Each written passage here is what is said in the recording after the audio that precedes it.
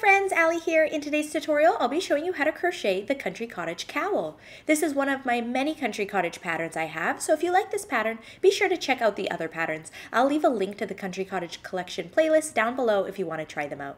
It's hard to get a full view under my camera here, so I'm going to pop up some photos. This cowl features beautiful texture and I'll be giving you two size options, child and adult, but you can easily adjust the pattern to be any size. If you want to follow along with the free written pattern for the Country Cottage Cowl, you can find it on my website, theturtletrunk.com, or if you want the ad-free printable PDF, you can get it from my Etsy shop or on Ravelry. I'll leave links to all those down below. If you're ready to get started, let's head over to our supply list and size chart and let's get making. For this pattern, you will need medium 4 weight yarn. I'll be using Big Twist Value in the color mustard. You'll also need a 6 millimeter or J hook, scissors, and a yarn needle. Here is our size chart. So I've provided two sizes. The kid size is about 25 inches in circumference and has a width of about 8 inches. You'll need to make your foundation chain 62 if you want to follow along with the kid size, and you'll need about 229 yards. If you want to make the adult size, it's about 28 inches in circumference and has a width of about 10 inches, and you'll need to make a foundation chain of 74, and you'll need about 265 yards of yarn. You can adjust the circumference to be any length by working any even number of chains around for your foundation chain. And if you want to adjust the width, you'll just need to repeat rounds three and four as many times as you'd like until you reach your desired width. So we're going to begin by making our foundation chain. So you want to start with a slip knot on your hook. And then if you're working the kid size, you'll want to work a foundation chain of 62. Or if you're making the adult size, you'll want to make a foundation chain of 74. Or if you're doing a custom size, just make sure you're working an even number of chains. So I'm going to be making the adult size today, so I'm going to chain 74. I'm going to also show you a cool trick um, so that you don't twist your chain because after we're done working our foundation chain, we are going to attach the ends together to make a loop and you really want to make sure you don't twist your chain. So I just chained about 10. I'm going to remove my hook and insert it at the top of the very first chain I worked and then insert my hook back into that last chain I worked. And then I'm just going to continue working my chain like this and then when I'm all done my chain, I'm just gonna be able to slip stitch to the very first chain on my hook without twisting my chain. So this is just a cool trick if you have a hard time um, joining a chain without twisting it. So just work a couple chains, remove your hook, put it into the very first chain that you worked, and then just continue making your chain, keeping that first one on the back of your hook like so. When you're all done your chain, we're just going to pull through the first chain on our hook like so. And now we won't have a twisted chain. And now we are going to be working in the round. So now that our chain is joined, we're going to continue working in the round for our cowl. So for round one, we're going to chain two, and we're going to be working in the back bump of our chain. So when you look at the front of a chain, you can see it makes like a V shape. So there's a top loop and a bottom loop, but we're gonna be working in the back loop. So if you kind of turn your chain, you'll see this strand of yarn bump out on the back. So we wanna work in the back bump of our chain for round one. So there you can kind of see it when you turn your chain. So we're gonna be working in that back bump and that's just gonna give our edge of our cowl a really nice finish. So I have a chain two on my hook. So now I'm going to double crochet in the back bump of each chain around for round one. So to double crochet, you're gonna yarn over, insert your hook into that back bump, pull up a loop, yarn over, pull through two loops, yarn over, pull through two loops.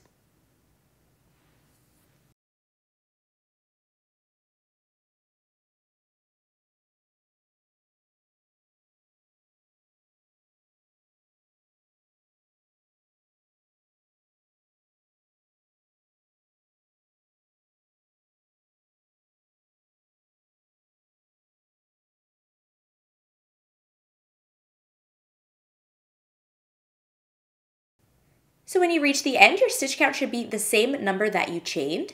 And we're going to join to the top of the first double crochet of the round with a slip stitch and chain two. This chain two does not count as a stitch. So for round two, this is where we're going to start the texture for our country cottage cowl. So we're going to work a double crochet into the first stitch, so the same stitch that we joined to. And then we're going to work a front post double crochet into the next stitch. So we're working a double crochet around the post of the stitch. So yarn over and insert your hook beside the post of the stitch, going around the back and back to the front. Yarn over and pull up a loop. Yarn over, pull through two loops. Yarn over, pull through two loops. So there we have a front post double crochet. We're going to double crochet into the next stitch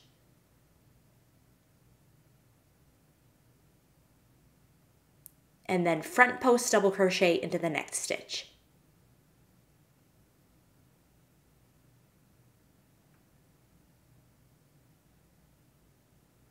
And we're just going to repeat those two stitches all the way around. So double crochet into the next stitch, front post double crochet into the next stitch.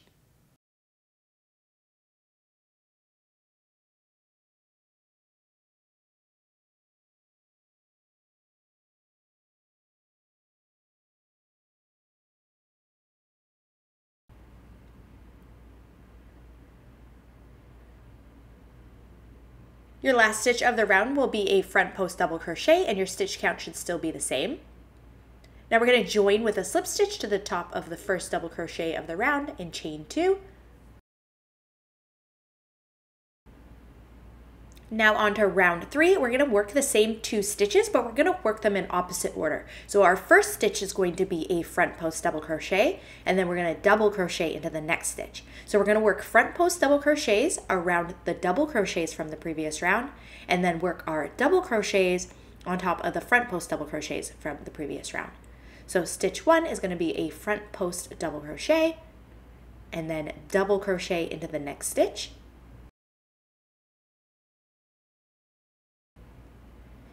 And then we're just going to repeat those two stitches all the way around. So front post double crochet into the next stitch and then double crochet into the next stitch all the way around for round three.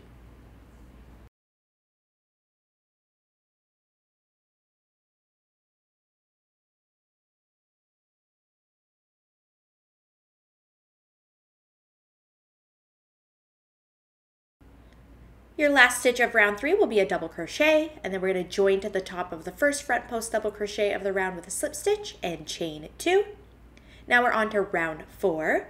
And for round four, we're going to do the same thing we did for round two. So we're going to double crochet into the first stitch and then front post double crochet into the next stitch. And then we're just to repeat rounds three and four as many times until our desired width is reached. So for the kid size, you can work a total of 16 rounds. And then for the adult size, we're to work a total of 20 rounds. So I'm just to continue on repeating rounds three and four until I reach the end of round 20. But feel free to work as many rounds as you want. Just keep repeating rounds three and four until you reach your desired width.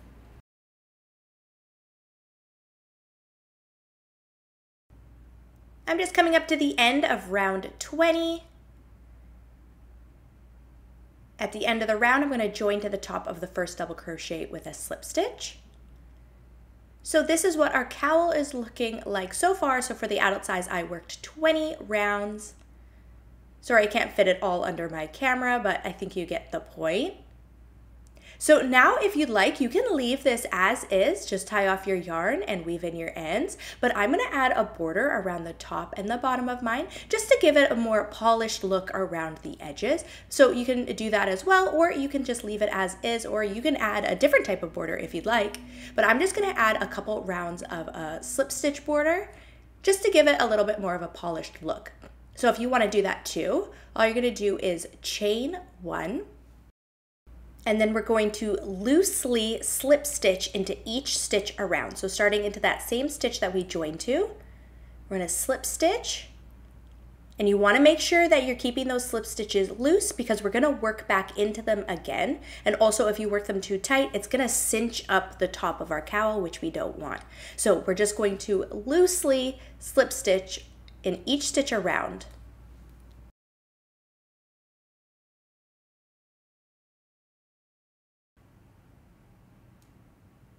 I'm just coming up to the end of the round. Now I'm going to join to the first slip stitch we worked of the round, but for the next round, we're gonna be working in the back loop only. So I'm going to join to the back loop only of that first slip stitch of the round, and then chain one. And now we're gonna be working slip stitches in the back loop only in each stitch around. So loosely slip stitch in the back loop only in each stitch around. This is gonna create a nice ridge around the top of our cowl.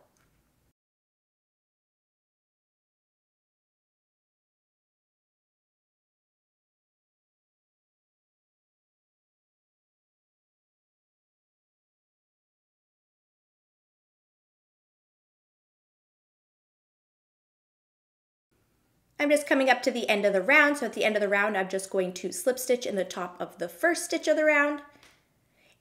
And I'm going to end here. Feel free to add more rounds of working a slip stitch in the back loop only if you want to make a thicker border around it. But I'm going to stop here. So I'm going to cut off my yarn and then pull out my hook and then I'm going to reattach my yarn to the bottom of my cowl and work the same border around the bottom. So I'm gonna weave in all of my ends at the end, so I'm just gonna continue on to the bottom border. So you can attach your yarn anywhere around the bottom. I'm just gonna do it as closely to the join as possible.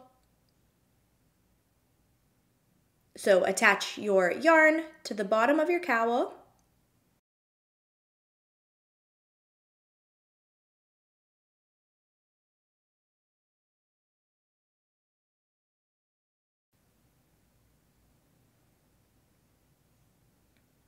Then I'm going to slip stitch into the same stitch.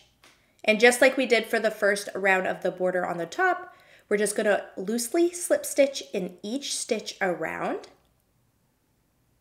So you wanna make sure that you end up with the same amount of stitches that your size called for. So since I'm doing the adult size, I wanna make sure that I have 74 slip stitch all the way around the bottom. If you're doing the child size, you wanna make sure you have 62. Or if you did a custom size, then just make sure you have the same amount of stitches all the way around. So just loosely slip stitch in each stitch around the bottom.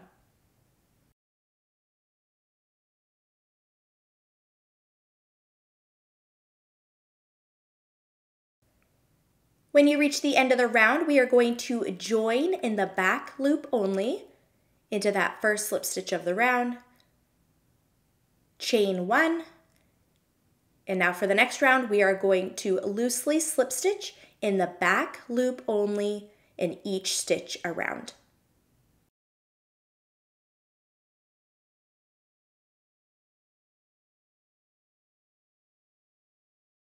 When you reach the end of the round, we're going to join to the top of the first slip stitch. And then we are all done. So I'm going to cut off my yarn and then weave in all of my ends on the inside.